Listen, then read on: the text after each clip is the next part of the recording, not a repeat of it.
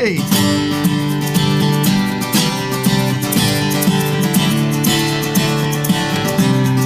Hey.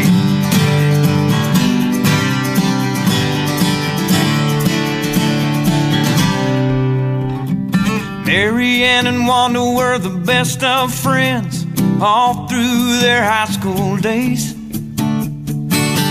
Both members of the 4 H club, both active in the FFA. After graduation, Mary Ann went out looking for a bright new world. Wanda looked all around this town and all she found was Earl. Wasn't two weeks after she got married that Wanda started getting abused. She put on dark glasses, long sleeve blouses, and makeup to cover the bruise. Then she finally got the nerve to file for divorce, and she let the law take it from there. But Earl walked right through that restraining order and put her in intensive care.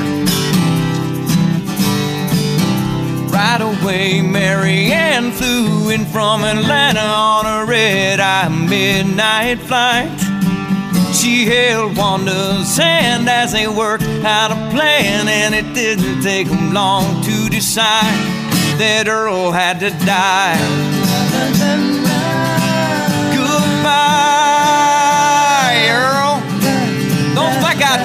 They tasted alright to me.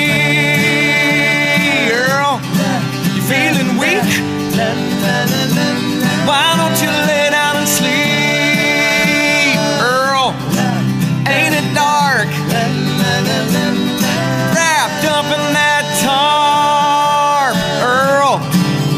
Hey! So the cops came by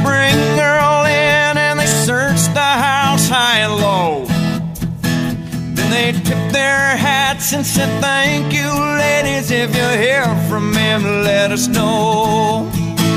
Well, weeks went by, spring turned to summer, and summer faded into fall. And it turns out he's a missing person who nobody missed at all.